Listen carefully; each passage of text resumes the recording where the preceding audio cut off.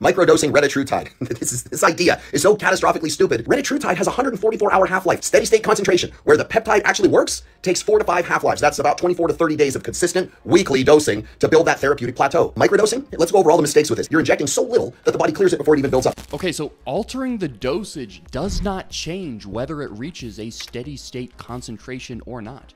Any dose will eventually reach a steady state concentration as long as the dosing interval is shorter than the elimination half-life. So if you inject a microdose once weekly instead of a standard dose, the steady state concentration still occurs at the same time after 4 to 5 half-lives. The steady state concentration itself is just lower. There's absolutely nothing wrong with microdosing retatrutide. I actually can't think of an example where microdosing a new compound instead of taking the standard dose could possibly be a bad idea. Most compounds' effectiveness abide by the law of diminishing returns, but their side effect risk oftentimes does not, which means doubling the dosage won't double the results, but it may double the risk of side effects or worse. So with microdosing retatrutide, it may take longer to see results, but microgram per microgram, it will most likely be more effective and the propensity for side effects will almost certainly decrease, making it a valid strategy for someone who isn't in a rush to shred down and wants to be extra safe.